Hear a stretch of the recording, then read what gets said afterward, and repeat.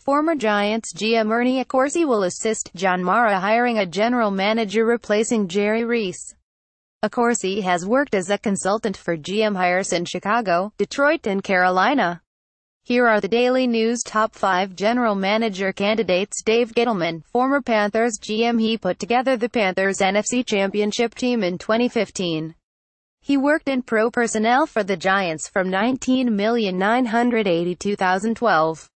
He gives them a chance to bring back a piece of their past but also has experience running another organization.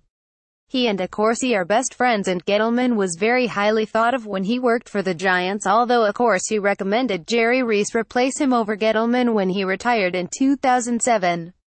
Gettleman clashed with some Panthers veterans who he did not want back.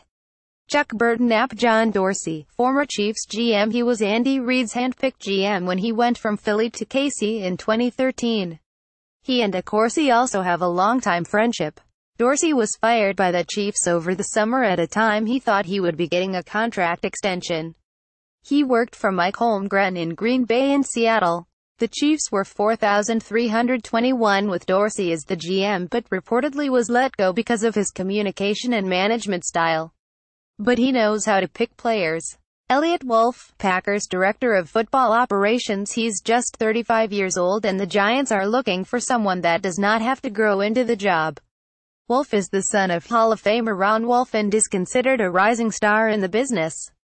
A former Giant suggested they bring in Bill Parcells, who is close to Ron Wolf, as a mentor.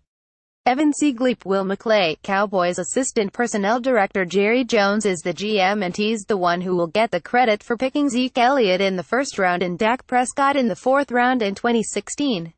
However, McClay is very highly regarded in the Cowboys organization and the Giants could help themselves and hurt the Cowboys by hiring him. He would also get the GM title which will never happen in Dallas. Eric DeCosta, Ravens assistant GM It's going to take a great situation to get him out of Baltimore. DeCosta is considered the successor when Ozzie Newsome retires.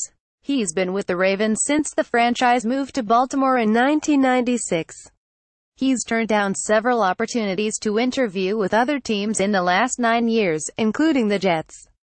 He and Newsome are very close. He would be a great get by Mara and Accorsi.